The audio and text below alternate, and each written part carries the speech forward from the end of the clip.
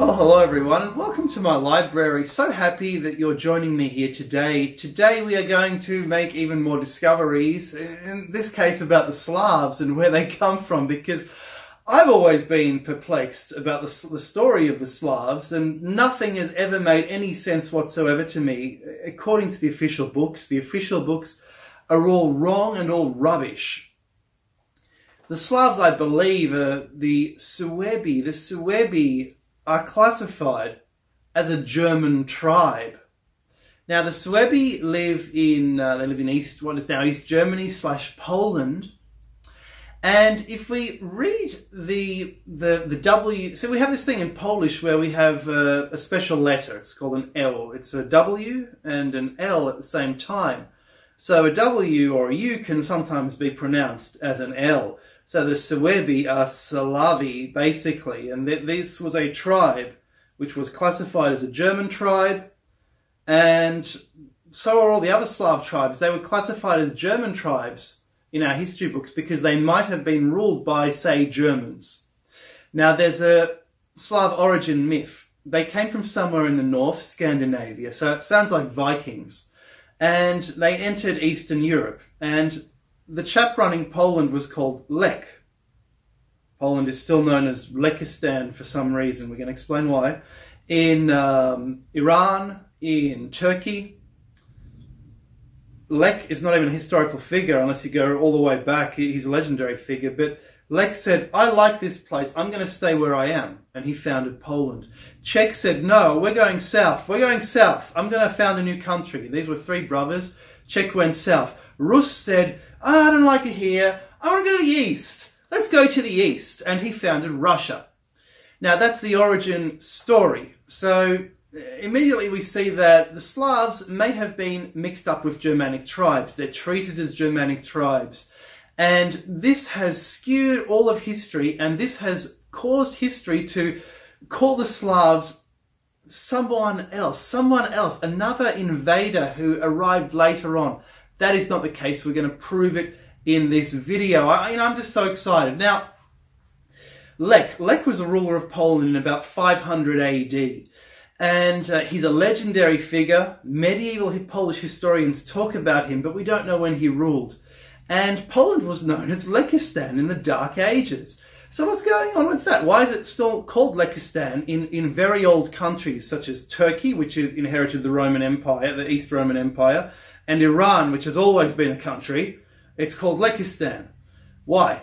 And here's the thing. There was a, a tribe of Sarmatians. The Sarmatians are North Iranians, and their name uh, essentially are the Lasajas or the Lachajas. And these people lived in Central Europe. They came from the East. And they were uh, kind of Slavs slash Iranians. The people who spoke Old Iranian, Old Iranian is European, uh, Indo-European, and uh, uh, but they they're in their appearance somewhat like Bulgarians. The Bulgarians might be Iranians, and these might be the Lekites. In addition, the Lekites were uh, the, the word Lugi. Lugi is a tribe name of the Vandals. The Vandals seem to have originated in Poland. And Lugi, now I have a Polish background, uh, even though I'm born in Aussie, but Lugi I can read in Polish as Ludzi, people. The Lugi tribe that the Romans described as a sort of Germanic tribe, you can read it in Polish as Ludzi. These are the people. And this was another name of the Vandals.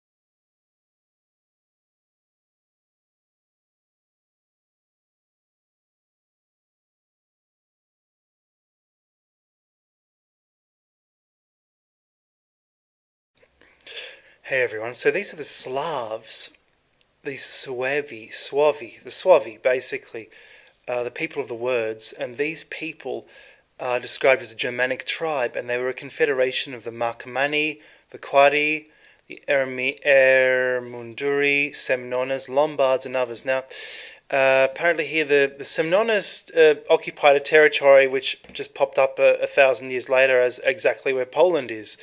Um, it's very interesting. The Marcomanni and, and the Suebi, the Suebi went south. They were expanded over a very wide area, just like the Slavs did.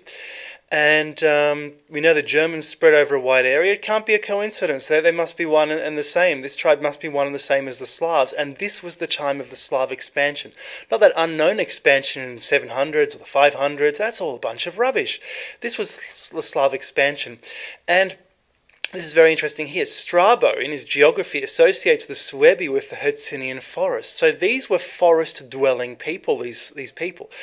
And the south of Germania, north of the Danube. He describes a chain of mountains north of the Danube uh, that is like a lower extension of the Alps, possibly the Swabian Alps, and further east, the Gabreta Forest, possibly the modern Bohemian Forest. He talks about, uh, he mentions as Suevic peoples the Marcomanni. Um, and and uh, they took over an area called Bohemian. Um, the king took rulership and added the the Lugi um, and the Zumi, the Butunas, etc., etc., etc., and the Samomnas, which I just showed you. Uh, a large tribe of the Suevi themselves. These tribes tribes were inside the forest and outside of it. Now, this is why I think the Slavs acquired the name of slaves because uh, being forest dwellers, these people were, were, were poor. They, uh, they didn't have the best land, and the poorest are the easiest to enslave. And I think the, the enslavedom happened in this time during the Marcomannic Wars. And these people, although they were poor, they gave the Romans such a run for their money that it was compared to the Punic Wars against Carthage uh, Marcus Aurelius was holed up in a fortress on the, the Danube frontier for three years, battling these people who were, were just attacking. Um, they, they slaughtered um, two Praetorian guards. It was an epic, epic war, which was the beginning and end of the Roman Empire. Basically, after this, the Roman Empire turned to trash. It was rubbish. It was, it was, it was decadent. Now, um, uh, on the subject of slaves, the Romans didn't use the word slave. The not, not, not the classical Romans.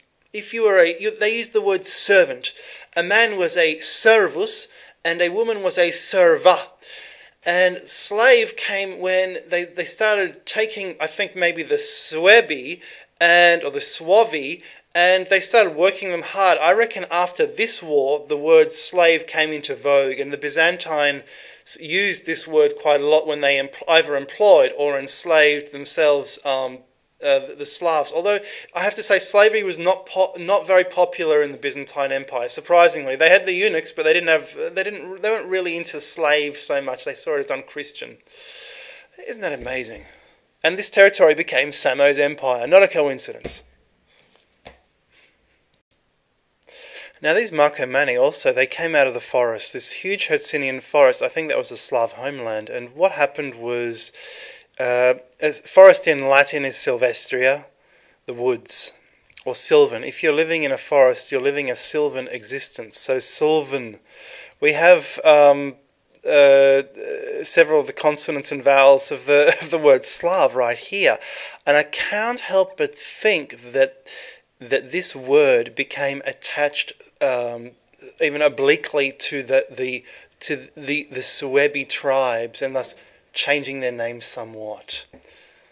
You know, this is so exciting. The Bavarians are Avarians. They're from the east. It seems there was this Avarian invasion, and, and these tribes go by so many different names. They, they, they went all the way up to Bavaria. To me, the Bavarians are not like other Germans. They, they resemble Russians to me. They've got the alcohol culture going. Um, to me, they they are they they act like Easterners. I think they're from the East. Um, you know, this is so this is this is so exciting. In Polish history, we have a, a legendary character called Siemowicz. I believe this is a relation, uh, something similar to the name Samo. Samo founded the first Slav empire in history. He was apparently a Frankish merchant. And the Czechs love this history because they, they say, oh, look, we're one of the oldest countries. We go back to 500 AD. And we were, we, we founded this, this empire, Samo's empire. Now, the thing is, Roman authors say these, these, the, the tribes that were in Samo's empire, these are the Marcomanni tribes who attacked Marcus Aurelius and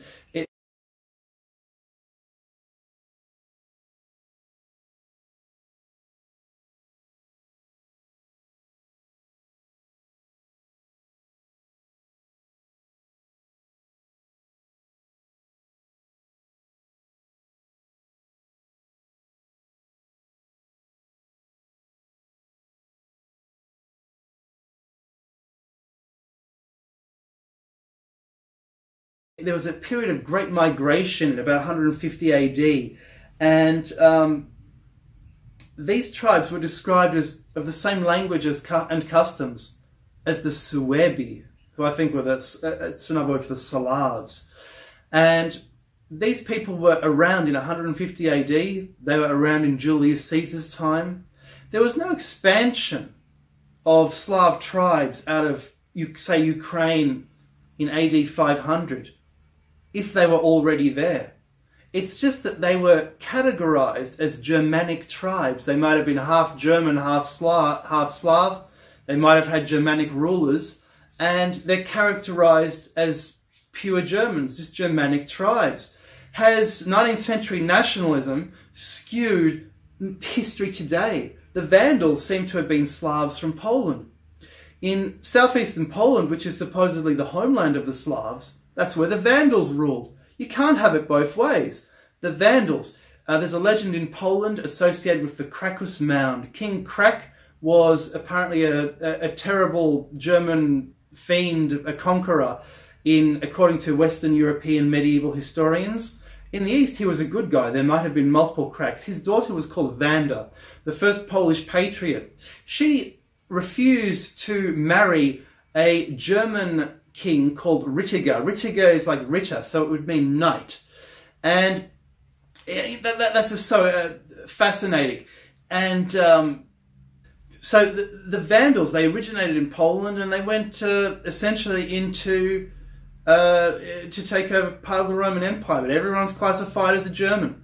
So there's this whole lost history of the Slavs in Europe. I think a, a Slav homeland would be in the Central European mountains there used to be this thing called the Hercynian forest. The Hercynian forest is the inspiration for Tolkien's Mirkwood. It's in Germanic lore. It's in Roman mythology as well. Uh, Julius Caesar thought that unicorns lived there. It stretches from basically Switzerland all the way into from the Swiss Alps all the way down to the Carpathians. It was a mountain forest, and it, it really went on and on and on into the Caucasus, into Iran, that the forests in North Iran are primordial and they're called the Hyrcanian forest. Maybe the name has a similar origin. Might, might have been the same forest. And this is, I believe, where the Slavs may have originated.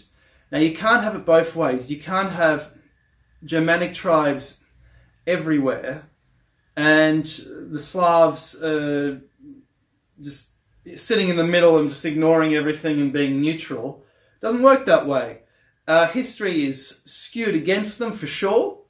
Uh, where does the name come from? The name Slav uh, comes from it. It, it, it it's it, you can read it in Polish. It's it's it's it's suave. It's word. The people who speak words and people have suggested this, and they've said that opposes the the Germans who uh, are described as Niemcy or people who they Niemcy. It, means no. The, the no people. The people the naysayers, the people who don't have it upstairs.